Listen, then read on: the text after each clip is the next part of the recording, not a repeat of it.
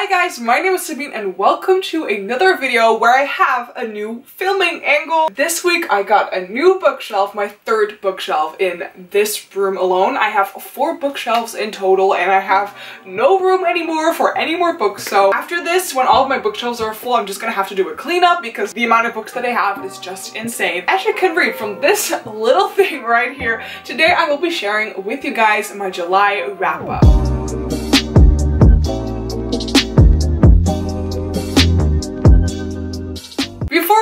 guys all the books that I read this month in July, I want you to know that I have two reading vlogs which I uploaded in which I talked about all the books that I read in July. So I have one from when I was in France, I read two books back then, and I finished four books after that, which will be in my other reading vlog. So check those videos out if you want to. Today I will share all of those books with you guys in one video. Let's start with the first book that I read in July, and that book is Blood for Blood by Ryan Graudin, which is the sequel to Wolf by Wolf. I won't tell you guys anything about this book like plot-wise because that will be a spoiler for the first book. The first book is all about Yael, who is a really badass girl. She has been in like a working camp when she was a young girl, and she has had a lot of experiments on her, and because of that, she can like skin shift so she can change into other people's faces. So what she's gonna do she's gonna impersonate one of the previous winners in a motor race, which is being held every single year by Hitler. She's gonna impersonate a previous winner to become like a legit, how do you say that, participant in the race. And if she wins the motor race, which she really wants to do, she's gonna meet Hitler and she wants to kill him. Because, which I didn't say, is that Hitler won World War II in this world and he's still like how do you say that, reigning over all the different countries and Yael wants to meet him, kill him, and then Hopefully things will be over. I read the sequel to Wolf by Wolf. I enjoyed this one. I definitely didn't enjoy it as much as the first one and I believe I gave this one three out of five stars or three and a half maybe. I don't know. Where's my reading journal? I give this one three and a half out of five stars because I still really did like the characters and I was still quite invested in the story. But for me, this book felt so much slower than the first one, which I've heard so many other people on Goodreads disagree with my opinion. I'm just happy that I finished a duology again, so like a series duology kind of thing, and I'm proud of myself because I always start things, but I never really finish them. After that, I read The Hate You Give by Angie Thomas, and I'm so happy I did this because I read this for the Basically Readathon. This was a day long readathon hosted by Britt, which is one of my booktube friends here. So of course I had to like support her readathon and her challenge was to read a book which has been on your TBR for a long time and this one has been on my TBR for over two years and it has won so many awards and I felt so guilty for not having read this book yet. I did it on vacation and I'm so happy. This is all about um, Star and she gets involved in this police shooting her best friend even though he did nothing and it's all about African American culture and the police shooting problems which are still going on and how Star deals with it all because she's the sole witness of the shooting and is she coming out with her story or not and she has to think about so many things which is just so sad and complicated. It's just so sad that a person like her has to go through this all because of people who do not understand that everyone is equal even though people look different. It's really impactful. It's a really good story. I didn't like fell in love with it as anyone else, but I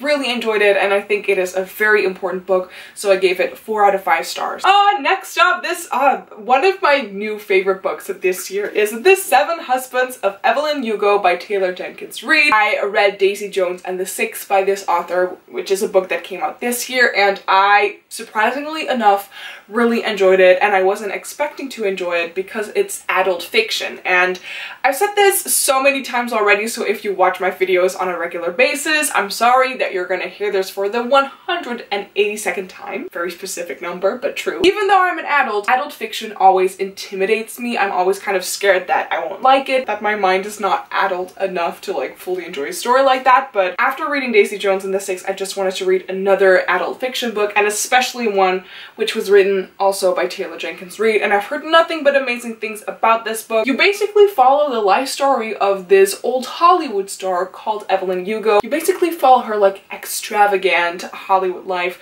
from the 50s to the 80s. She's married seven men. I just loved the way that the story was worked out. Uh, her writing style gripped me from the beginning again and just the way that Taylor Jenkins Reid writes her characters and her story. It's so interesting and I want to know every single detail and just ah I'm I think Taylor Jenkins Reid might be one of my new favorite authors from this year on. I just cannot wait to read her other books and this one blew my mind again and I felt so incredibly emotional at the end of the story and I couldn't cry because I was in a public train. but I gave this one 5 out of 5 stars and would definitely recommend this to everyone. It's so good! Then the reading rush started and I started off the reading rush by reading The Perks of Being a Wallflower by Stephen Chbosky. It's been such a long time since I've read a small book again and this one is just over 200 pages and this one was also on my TBR for a really long time. It's about Charlie, a 15 year old boy who goes to freshman year in high school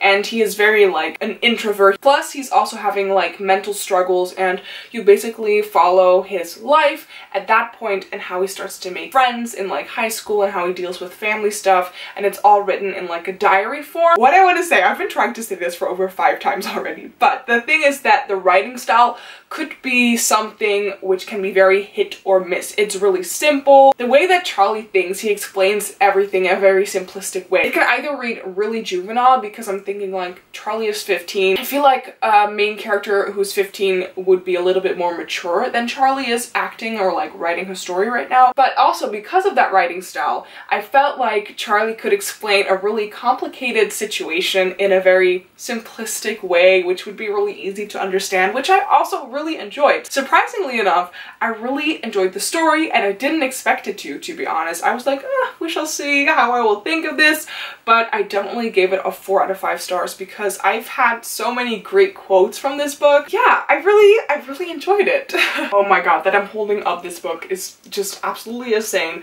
The Hobbit by J.R.R. Tolkien. I've been reading this book for one and a half years and the last 100 pages have been unread for over six months. I decided to just pick up the audiobook and just start listening to it and just stop listening to it until I finish the book. So I read the last 100 pages during one day of the reading rush. I'm glad I did because I just wanted to be done with this story. Even though it's a very like classic adventure story, I really enjoyed the beginning of the book but after halfway through I just completely lost interest and I just wanted to be over with it. But I gave this one a 3 out of 5 stars and I'm just so glad that I'm done with it. and then the last book that I finished in July and also that I finished during the reading rush is James and the Giant Peach by Roald Dahl. I have this giant collection of like Roald Dahl's books in like box set and I'm so happy that I have it because I love every single one of Roald Dahl's books. This was one that I still hadn't read and it was really good for like a challenge during the reading rush